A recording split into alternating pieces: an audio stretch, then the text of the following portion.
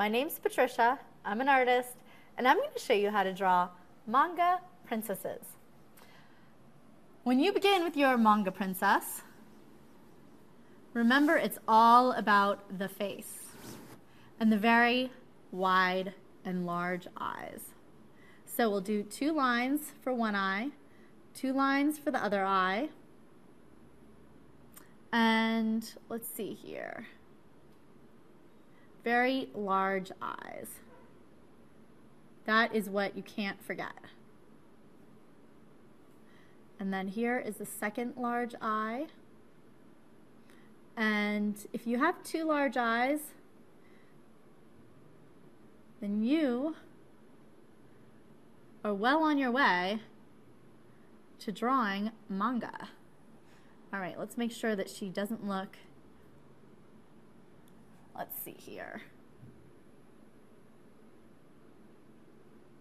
Okay, so we have the two wide eyes, and then a little teeny nose, little teeny mouth, and then we have the hair. Think jagged. You know what? I'm gonna get a nice, ah, there we go. Look at that, beautiful. And her hair is gonna go over this side of the face.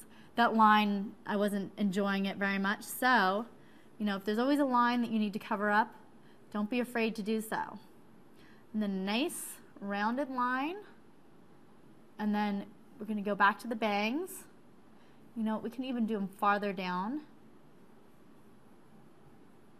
And then,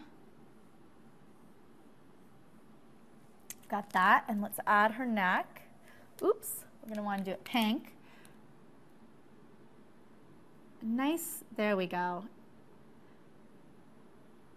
I'm gonna fix her, her face. It was a little bit too big, so I took away that line. Let's see, here's her neck. Now she is a princess, so she's wearing a nice dress. And you can put whatever you want on it. Let's put some stars. on her dress.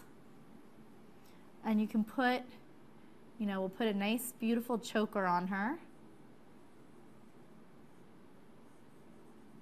And we'll do some highlighting in the hair. Again, keep it jagged. And then I'm also going to pretend the blue is black. I'm going to fill in the hair so it looks a little bit better here. Again, jagged hair framing the face. And this orange line here is the highlight. And I'm filling in the hair. And there you have your beautiful manga princess. Enjoy.